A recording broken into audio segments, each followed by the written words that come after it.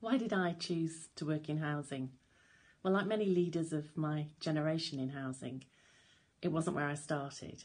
My first career after university was in retail management, and I loved it. I liked working in shops, working with customers, staff. It was fun, it was fast paced.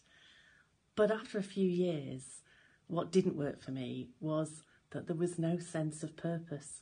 Why was I doing this? And in the end, there was a bit of a clash with my social values, and I actually ended up getting sacked. But that's a story for another day. However, around the same time, in my late 20s, I'd started getting interested in housing because I was an elected councillor and I was volunteering at the Citizens Advice Bureau.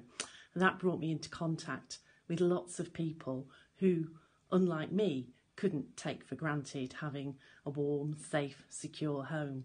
And that really made me realise just how crucial that is to enabling anyone to achieve whatever it is that they want to from their lives. So I then made the move into housing, got a job as a housing officer, and never looked back.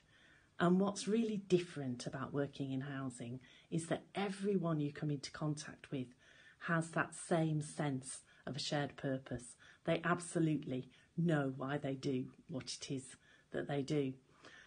But then, over and above that, in sheer career terms, for me, housing isn't just a single profession, it's a whole family of professions. And if you choose the right organisation, you can get the opportunity to develop your career across a whole range of activities. So, I've worked in housing management, in development, in care and support, I've done governance, I've done recruitment and training, all sorts of things.